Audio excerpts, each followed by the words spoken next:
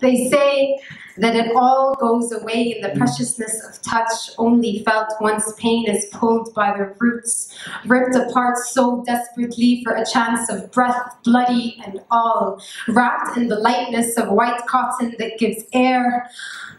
to lungs bare from inhales and life and exhales and moving forward, tears flow from the tiptoes of the body held so strong to carry pounds of life, growing within the miracles of His graciousness, as cries remind us that with generosity of life, we shall give something back Rerooting the seeds, feeding the soils that await the early blossoming in springtimes that fill eyes with colors, and sprouting beauty from every corner, pulled by the opposite poles of the universe as gravity pulls our ground, holds us still, keeps us standing, taking in the graciousness, the gift of you.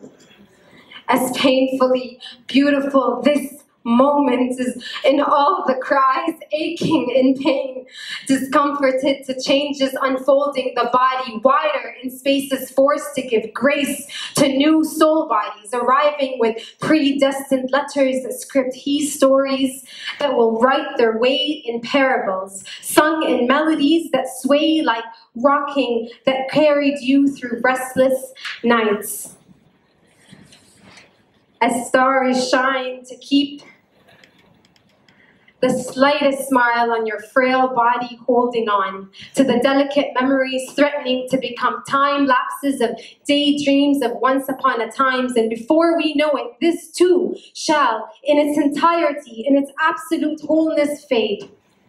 become swept away